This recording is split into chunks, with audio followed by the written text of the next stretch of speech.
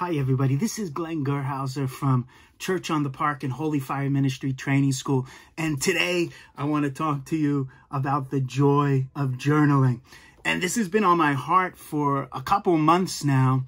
And especially in light of the coronavirus and we're at home and we have to work from home and we're uh, not meant to go out much except for essential things. This is a wonderful time to work on our personal relationship with God. And journaling is one of the ways that we can strengthen our personal relationship with God. Now, have you ever found it in prayer that your mind has wandered? You've been distracted. You haven't been able to focus. Well, journaling is a way that you can focus uh, because you can write down your prayers. You can write down scriptures.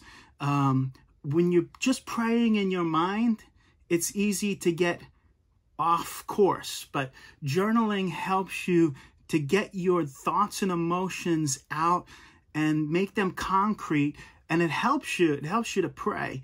Now i want to show you something that is a treasure of mine something i really treasure and this is my own personal copy of psalm 119 and from the front of it is the english and so Psalm 119 is an acrostic psalm. And in the Hebrew, every verse in a poem starts with the same letter. Uh, so this is my English, but on the uh, on the back is the is the Hebrew. And if you can you can see here, uh, the beautiful thing is is here's a Dalet. Again, this is Hebrew poetry every line of the Hebrew poetry begins with Dalet, Dalet, Dalet, Dalet. It all begins with Dalet. The psalmist is bringing out the beauty of God's word. And this is his own journal. And I want to read to you from the Hebrew here, starting with Dalet. This is Psalm 119, verse 25. And it's going to teach us about journaling. So let me start here. Davka la'afar nafshi. What does this mean?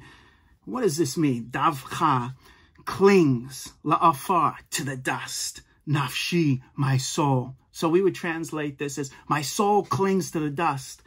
What is the psalmist doing here? He's being real and raw about his emotions.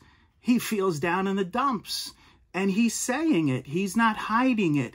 He's not, oh, let me try to psych myself up. But my soul is down in the dumps. And I think that's how many of us feel right now. Our souls are down in the dust. Uh, you may have lost your job. You may have taken a cutback in your salary. You may be missing hugging people. I know I'm missing seeing people and spending time with them. Uh, he says here, my soul clings to the dust. And I, I want to encourage you, when you have your own journal, be real, be raw, be honest. Now, what's this next line of this verse? And this is what he's looking to for his hope. He says, Chayeni kid varecha. Chayeni, revive me. Chayeni, revive me. Kid varecha, according to your word or by your word. So he's looking to the word of God for revival. He's looking to the promises of God's word, as well as the power of God's word to revive him, to give him life, to, to raise him up, to resurrect him from the dust that he's in. Now, the last thing I want to cover with you is the second verse of Dalet. This is Psalm 119, verse 26. And it reads, Darakai siparti vata aneni. Darachai is my ways or my journey. Siparat, sip, siparti is I've recorded. So he's saying, I've recorded my journey. I've written it down. Siparti.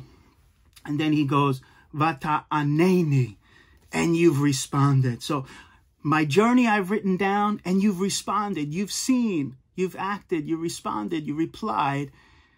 Here, the psalmist is putting into practice journaling, and that's what Psalm 119 is. It's his, it's his own personal journey and journal of the Word of God. The next verse says, Lamdeni hukecha. Lamdeni, teach me. And, and hukecha is your statutes, your statutes. So the next thing he says is, teach me your statutes or teach me your written portions. Because the word of God can be broken up into portions.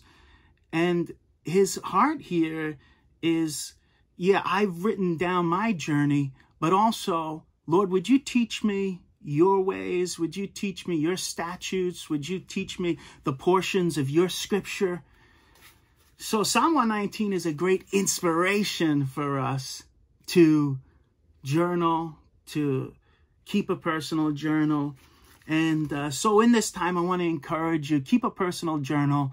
I hope to do another video about tips, 12 tips to keep a personal journey, uh, journal. But right now, God bless you. If you've enjoyed this video, um, please send me a message and let me pray for you. Father, I pray for each one that you'd help them to keep a personal journal and that as they write, that you would respond to them and speak to them and they would hear your voice. In Jesus' name, amen.